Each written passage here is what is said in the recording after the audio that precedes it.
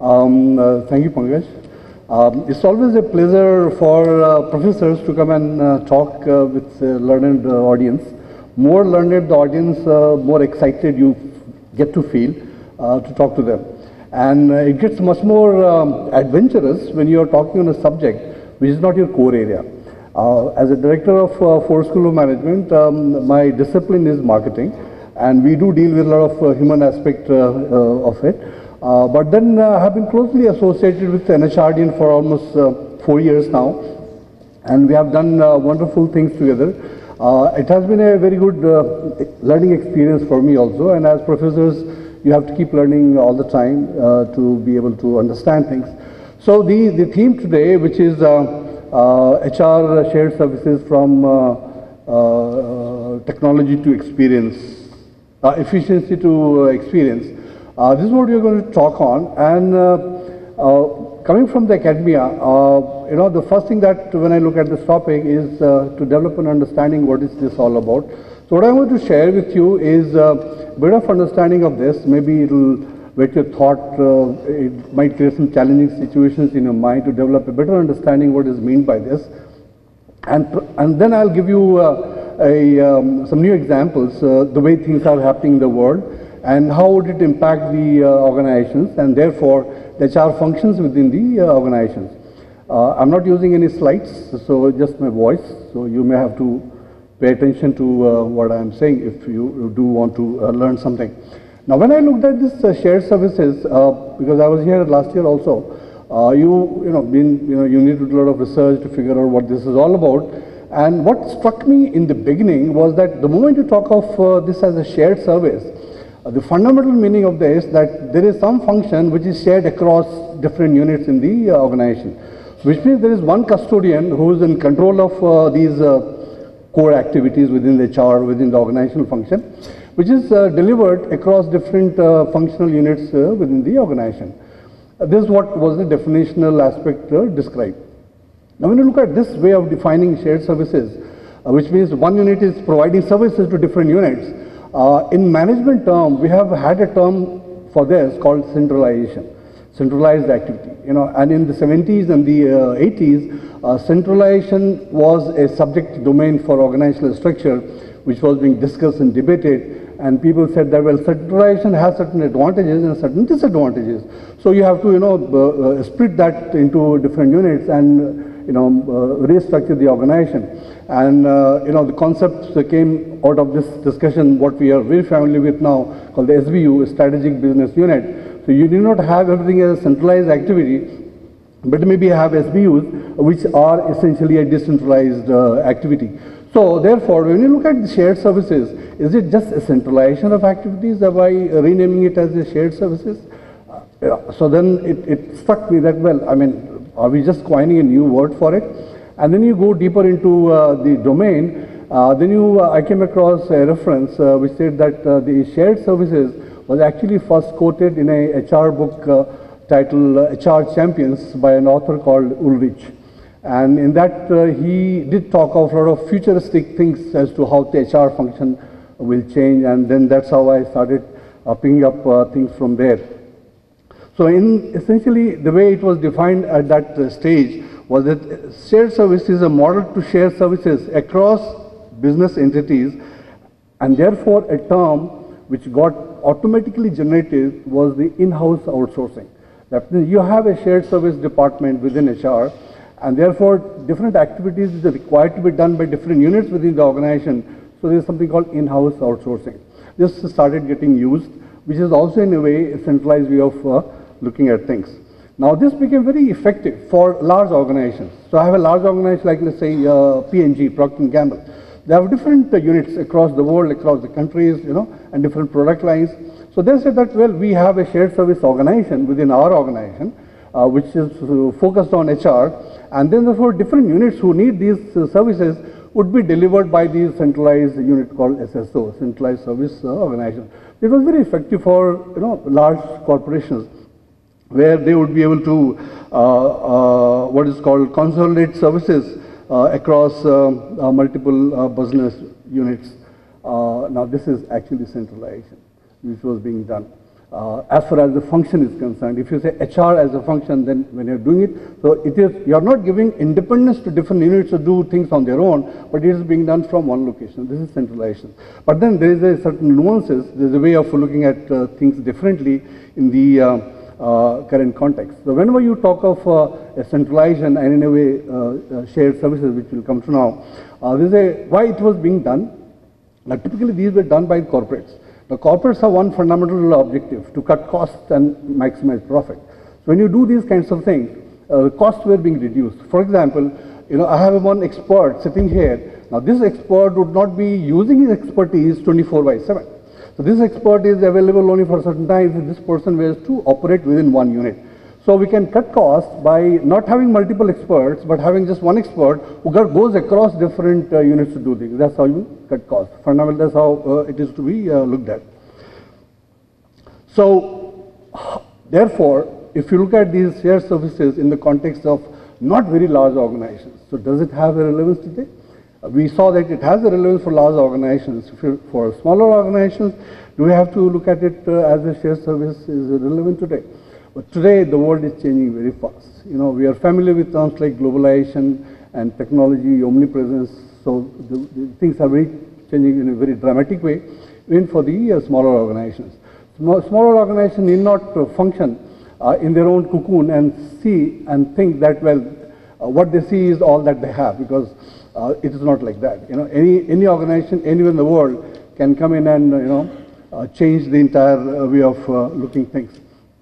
So therefore, when you talk of shared services, uh, the, the, logic therefore goes that even for a smaller organization, we need to look at what we call HR transformation.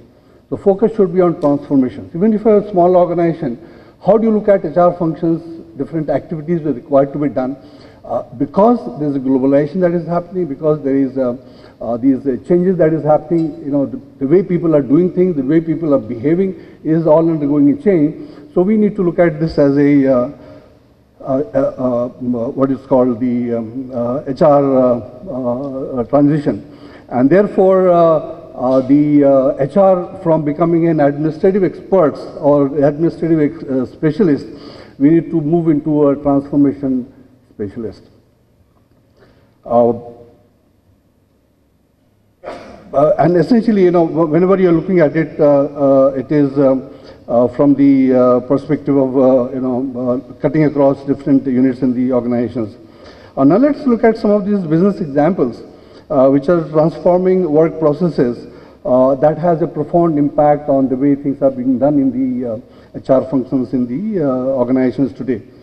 Uh, we are familiar with uh, uh, assembly line operations. You know, if you, if you have been a business student, you would know that Henry Ford brought about this mass production of things, you know, from uh, a job-based activity, a car is being manufactured and then another car. So this is specialized, so it is assembly line. And the outcome of this was that uh, the cost of production of a car drastically went down. So he is also given this credit that he brought uh, a car from a luxury product domain into a common man's domain. So from a luxury item that a person is wanting to own, it became a product which is used by common man for uh, transportation. Now, this was happened, this happened early 20th century without, the, the, technology was not the way it is today. Now today, now the point is, the point I'm trying to make here is at that point of time, some drastic change happened. The structuring was changed, so that cost went down drastically. Now today, the same thing is happening because of the technology. You have these techies which are there, so bringing down this cost which is uh, coming down. To give an example, uh, let's say um, um, uh, we are all familiar with um, uh, Uber, you know, because of whatever happened in Delhi. Everybody knows Uber. Know, Uber is a company which was formed in um, San Francisco, I think 1997, and today its um, uh, revenue is just about $1 billion, valuation is about $40 billion. Okay, it operates in about 53 countries. Now what they have done, they are saying that, well, things are available very easily for anybody and everybody. Okay, like for example, uh, uh, the whole model is that I have a car, uh, go back to the US model, you know, US situation or other countries in the world where you don't have these laws as we have in India. So I have a car, I'm going from place A to place B, it's my office uh, chore, you know, evening I get out of my office, I go to my house. Now I have signed up on Uber. Now typically I'm driving all of myself, right? Now I don't mind picking up a passenger and earning some money. Now I've signed up with Uber, right? Now there's a passenger who's willing to join me and then therefore, you know, he or she comes and then I drop him off and I make money. So it is convenient for both the parties. Okay? So there was a slack in the resource that was available. This resource, which is transportation, was available in the society, which was not getting used because there was no way to connect between the supplier and the consumption center. Now Uber has just come in and facilitated that. Now the cost, because of increased competition, this person who is to travel as such may want to charge a little less than what would be charged by a taxi fellow. So this is how things have changed. I'll give you some more examples on this and you can relate as to how uh, things are being, uh, should happen. Uh, so, uh, you know, the way, the term that is used here is uh, that we have these uh, freelance workers which are available now. The freelance workers um, are willing to do things for you. Uh, typically, to begin with, it was for simple tasks, but now it is going into a complex task. Now, for example, uh, uh, let's say uh, uh, uh, we have a plumber requirement in my company. Now, do I employ a plumber or do I not employ a plumber? Do I, do I employ a plumber or do I not employ a plumber? I would not like to employ a plumber.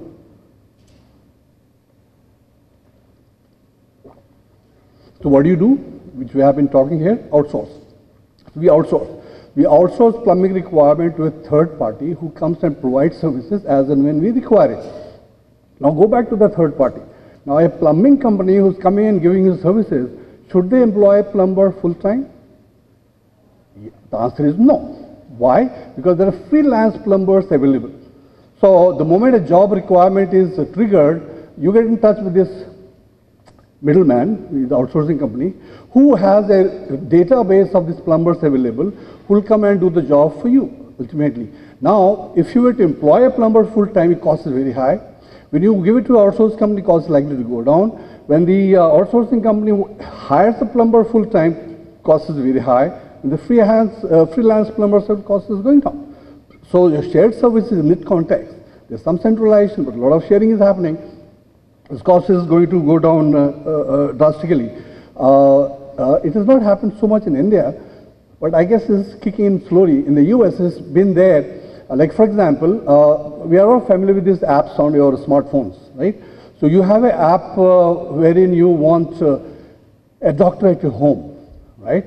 So because somebody has developed an app, somebody has a database, so all that you require to do is to, you know, click, provide some symptoms, and you get a response back, you know, similar to Uber model. So you get a response back that uh, Dr. So-and-so, photograph so-and-so, uh, will actually be calling on your home, on your door in two hours time, and this is the fee you pay. The moment this guy comes, you pay, it will be charged to your account. This is happening. So, so uh, essentially what is happening is um, uh, the um, slack resources which is available in the society are available on job basis. Now typically you would say that these are very simple tasks, you know, very well defined tasks like plumbing is very well defined task, doctor maybe is very well defined task, but no, things are changing. Companies are now uh, wanting to uh, uh, get these uh, problem solvings in this particular format, uh, like R&D task. Now a complex task by the experts can be broken into simple tasks. The collection of simple tasks becomes a complex task. So each of the simple tasks can be given away to freelance people who are available. So this is going to bring down the uh, cost uh, drastically. Uh, there's a company called uh, Axiom in US who provides lawyers. You know, you have a, a, legal issue, you just go on the app or, you know, and then lawyer will come to your door and you pay, I mean, it is charged and you, you do whatever. Uh, without this, it was very difficult to uh, get these kinds of services. Now, these examples may appear that they are in the personal domain. Okay, uh, uh, don't get into that. Uh, as for some data, for example, in the US, uh, uh, like for example, uh, freelancer.com and elance-odesk.com together have about uh, 9.3 million workers which are available for freelancing job to be absorbed on task or job basis by about 3.7 million companies. Now these 3.7 million companies would be hiring these people using these apps. Okay? So how does this impact HR functions in your organization? Okay? You need to look into this and, and think about it. Okay? And so, so the, the question, the, the, the concept here is that uh, these jobs which are required to be done by the organizations, they are available uh, uh, on demand. So when I need something, something to be done, I raise a demand and that person absolutely tailor-made for that particular task will come. This guy is not my employee, this guy is not anybody's employee, these guys are freelancers and they come and do your job at a much uh, a cheaper price to the uh, organizations. So essentially, uh, uh one of the statements that I remember uh, is while doing all this research is one of the statements that was uh, by given by Karl Marx way back in the you know 18th century or whatever. He said the world tomorrow will change into a situation where you have these people who are controlling these production centers, okay? And then you have the people who are working in these production centers. So he actually has projected there will be two worlds. One would be people who would be rich, and then there would be people who would be workers. So essentially, what it means is that uh, in the current times, can, we can relate this uh, to the situation which we are in today, that there are lots of people who have money with them, but no time. So they need services. And at the same time, we have a lot of people who don't have money, but they have a lot of time. So this was there in the society since millennia, whatever time. But today, we are talking about it, and today the technology is making it uh, feasible to get the two people together. So these two groups of people can interact with each other and then can trade with each other to fulfill each other's requirements and therefore there is a win-win situation that is happening and that is being done by these technology companies or, or the new tech uh, methods uh, which is available. So therefore the organizations who traditionally would have had a unit to handle certain kind of a task including R&D or even for example Uh, uh, generating a um, uh, advertisement. Like for example, I can, uh, one example is coming to my mind, mygovernment.in I think, yeah, the government of India site. Now you would be familiar that